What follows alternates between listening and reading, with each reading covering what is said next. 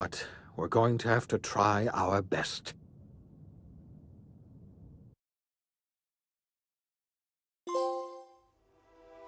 The OSI teaches that everything in the universe happens according to the grand plan.